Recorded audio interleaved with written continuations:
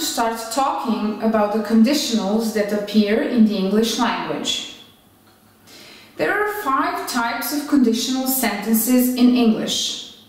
Zero, first, second, third, and mixed conditionals.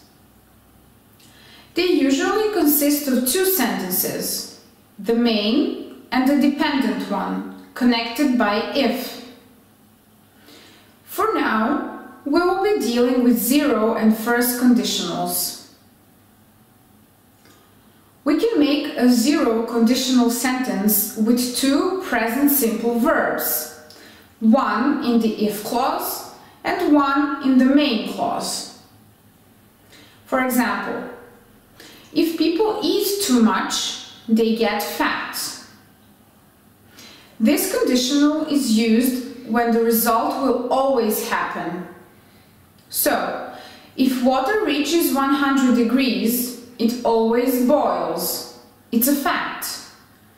And we are talking in general, not about one particular situation.